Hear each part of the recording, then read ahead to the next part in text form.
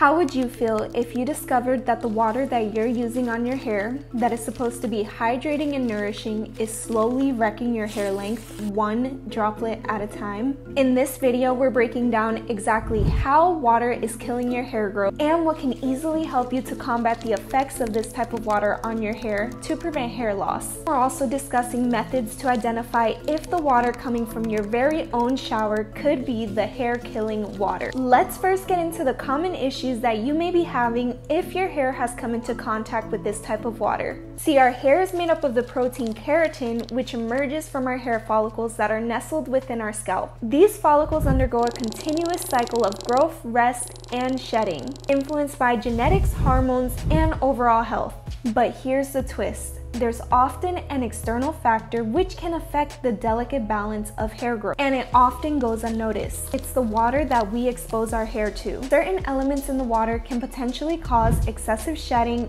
itchiness, and even breakage. So how exactly is water killing your hair growth? So let's take it back to the beginning of my hair journey. I had always prided myself on my healthy hair until things suddenly took a nosedive. I noticed that my once vibrant hair seemed to be dulling out over time and my scalp was so itchy. I could not pinpoint the cause. I hadn't changed any products in my hair routine and everything was seemingly the same. Days turned into weeks of frustration as I battled intense itchiness and excessive hair shedding. Desperate for answers, I scoured the internet and stumbled across this forum of a girl going through something similar to me. Hair and scalp issues despite no change changes to the hair routine. And she found that the cause of all of this was the water quality. It prompted me to do some more research into my area's water quality. And I found that my area is high in minerals in the water, which basically means that it's hard water. High minerals can build up on your scalp and block important nutrients from being reached to your follicles.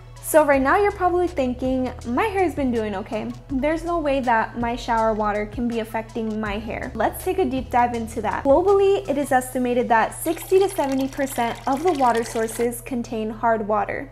And in the United States alone, 85% of the country's water is hard. So you may want to test out your water to see if it's actually hard water or not. There are some ways that you can do it. You can purchase water hardness test strips from your local hardware store or online. Dip the test strip into a sample of your water for a few seconds. Compare the color of the test strip to the color chart provided that came with your test strip. The chart will indicate the level of water hardness in terms of grains per gallon or parts per million. So you've tested your water and you've come to the scary realization that you have hard water.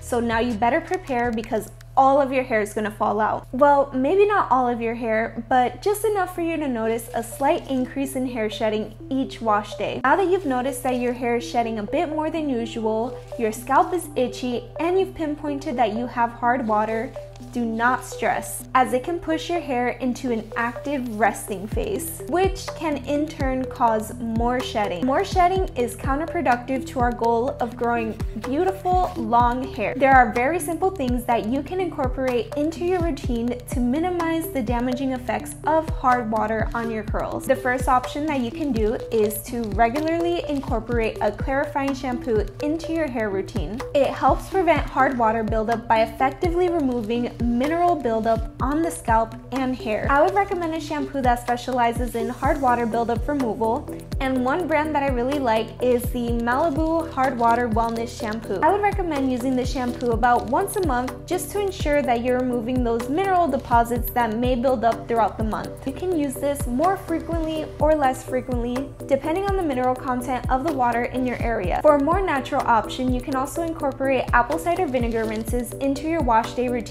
The acidity of the apple cider vinegar helps to dissolve the mineral deposits that build up on the scalp and the hair, making them easier to rinse them away, preventing the accumulation of the hard water buildup on your follicles. Just mix 2 cups of water with about 2 tablespoons of apple cider vinegar. After shampooing your hair, apply the mixture all throughout your hair and scalp and let it sit for about 10 minutes. Then rinse and follow up with a conditioner. To make it more effective, you can incorporate distilled water into this recipe and rinse with distilled water. This next way of reducing hard water buildup on your hair and scalp is actually one of the most effective ways. and that is installing a shower head filter which is designed to reduce the mineral content of the water. The shower head filter traps the minerals before they could come into contact with your hair, promoting a healthier scalp and hair. Now the thing is, everything I just told you is completely useless if you keep on making this common mistake that is completely ruining your hair growth. Watch this next video to find out what that common mistake is and how you can easily prevent yourself from making this common mistake.